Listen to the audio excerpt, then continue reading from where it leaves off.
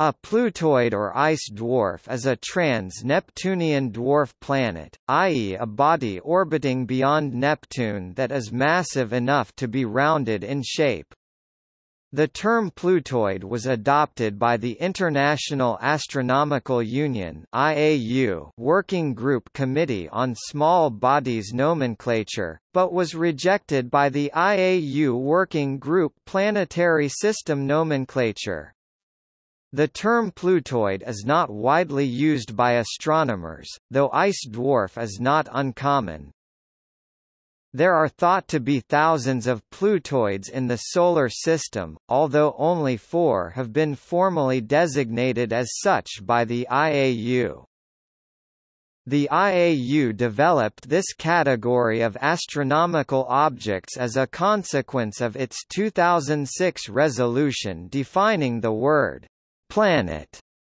The IAU's formal definition of Plutoid announced the 11th of June 2008 is Plutoids are celestial bodies in orbit around the Sun at a semi-major axis greater than that of Neptune that have sufficient mass for their self-gravity to overcome rigid body forces so that they assume a hydrostatic equilibrium near spherical shape, and that have not cleared the neighborhood around their orbit.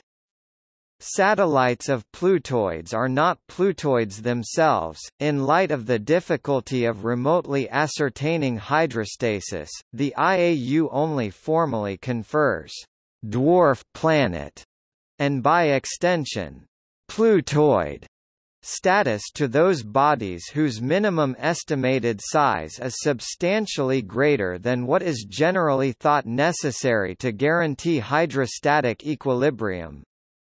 As of 2009, Pluto, Eris, Haumea, and Makemake are the only objects officially recognized as Plutoids, while upwards of 70 more bodies that currently lack formal recognition are thought likely to meet the definition, and can expect formal recognition at some time in the future. Alan Stern of the Southwest Research Institute believes the outer planets show signs of collisions with Plutoids 1000 to 2000 1,000 kilometers in diameter, Uranus could have been tipped off its axis by a Plutoid, and Triton, the largest moon of Neptune, is probably a captured Plutoid from the Kuiper belt.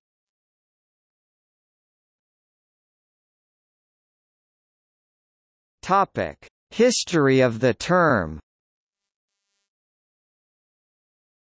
On 24 August 2006, the IAU decided to reclassify Pluto as a dwarf planet, requiring that a planet must clear the neighborhood around its orbit.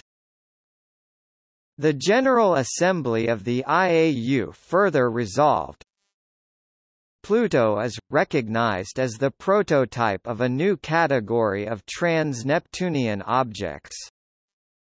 This new category had been proposed under the name Pluton or a Plutonian object earlier in the General Assembly. The former was rejected, in part because Pluton is a geological term, and many geological experts sent in complaints pointing this out.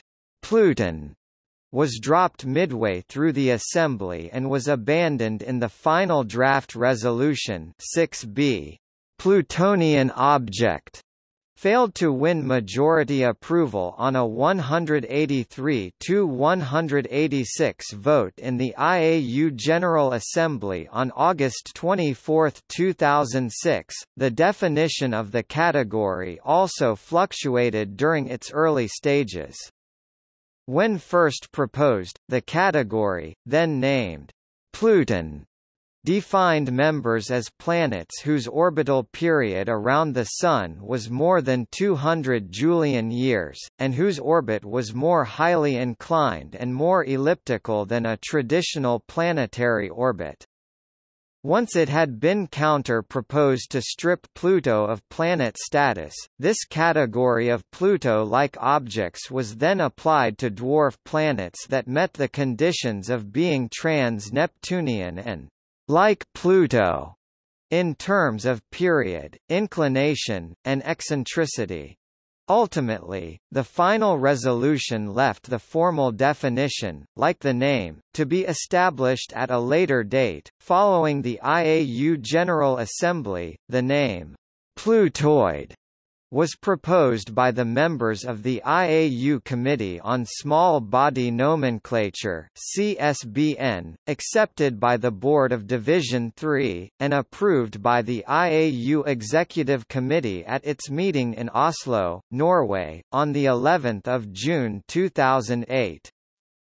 The term was announced after the Executive Committee meeting, along with a greatly simplified definition, all trans-Neptunian dwarf planets are Plutoids. However, due to a communication error, the IAU Working Group for Planetary System Nomenclature WGPSN was not consulted, and they subsequently rejected the term. As of 2009, the term had not been widely accepted by the scientific community, with the term ice dwarf planet sometimes used instead.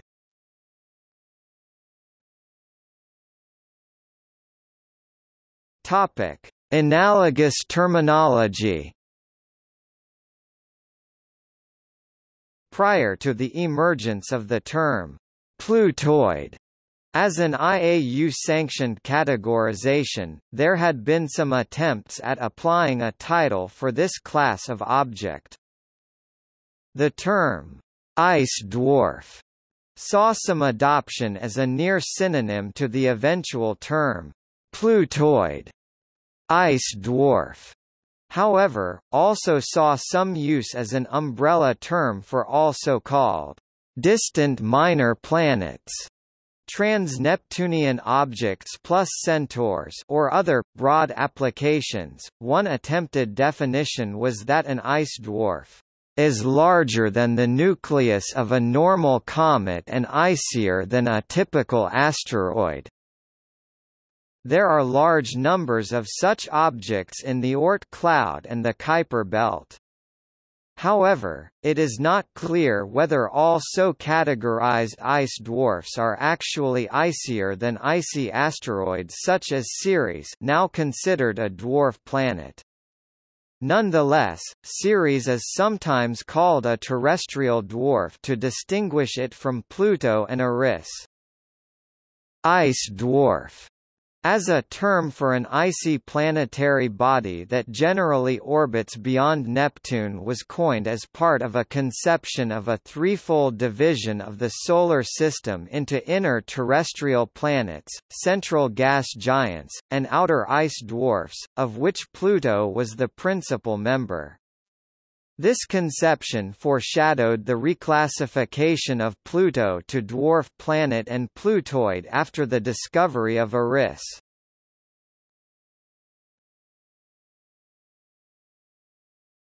Topic: Naming process for Plutoids. With the creation of the term dwarf planet some ambiguity was created as to which of two IAU bodies would be responsible for naming dwarf planets. Eris had been named through the IAU Committee on Small Body Nomenclature and the IAU Working Group for Planetary System Nomenclature working in cooperation with one another. Along with announcing the name, Plutoid, the IAU decision of the 11th of June 2008 institutionalized this cooperative process involving the two bodies in the naming of new Plutoids. In keeping with minor planet naming guidelines, priority will be given to names proposed by the Discovery teams, and Plutoids may not share a name with a small solar system body.